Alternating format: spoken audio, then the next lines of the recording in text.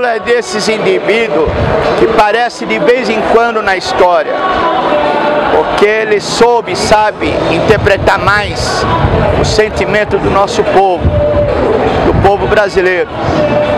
Eu fui deslocado pelo PCdoB em 77.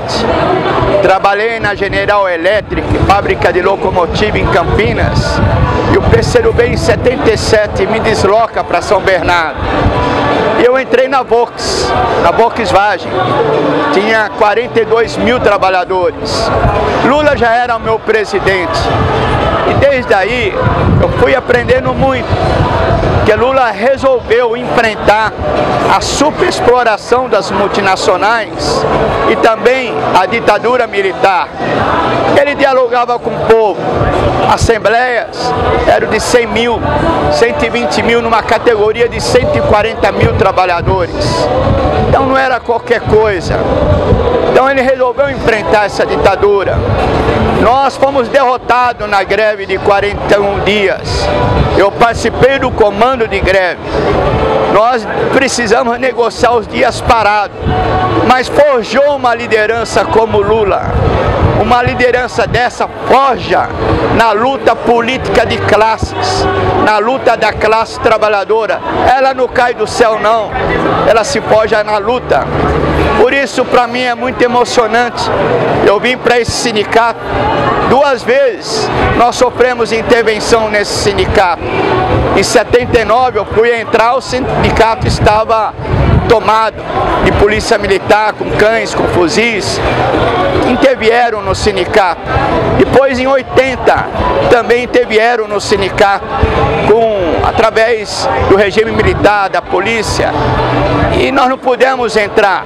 Mas nessa greve de 80, os trabalhadores, em um momento, se resolveram se organizar e passaram por cima da, dos policiais aqui, ocuparam esse prédio de forma simbólica e desceram para mostrar que esse sindicato pertencia ainda aos trabalhadores, mesmo Lula estando preso.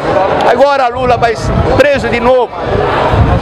E o Lula fala que ele vai continuar andando através das pernas do povo. Lula fala que ele vai continuar pensando através da cabeça do povo. Lula fala que ele vai continuar falando através da boca do povo. Porque Lula defende o interesse do povo, dos trabalhadores e da nação. Penso que o Lula, nesse processo todo, se forjou numa grande liderança. Ele aprendeu com os erros e com os acertos. Por isso que eu acho que o Lula vai se engrandecer ainda mais.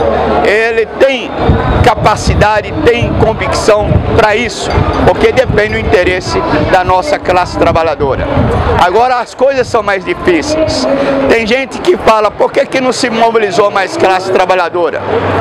Hoje a Vox tem 9 mil trabalhadores. Hoje a preferência da contratação de trabalhadores são de jovens, mais especializados. Na nossa época era outra classe trabalhadora, em 80. A Vox dava preferência de contratar trabalhadores que vinha da roça para trabalhar na linha de produção. Hoje a classe mudou, se transformou porque transformou as máquinas, são máquinas computadorizadas, é mais difícil. A nossa tarefa é ganhar essa juventude para uma consciência social. E vai se ganhar essa juventude também nas universidades, também nas escolas técnicas. Mas nós temos que ganhar também essa grande massa dos terceirizados, do trabalho precarizado, talvez no Brasil são dois terços.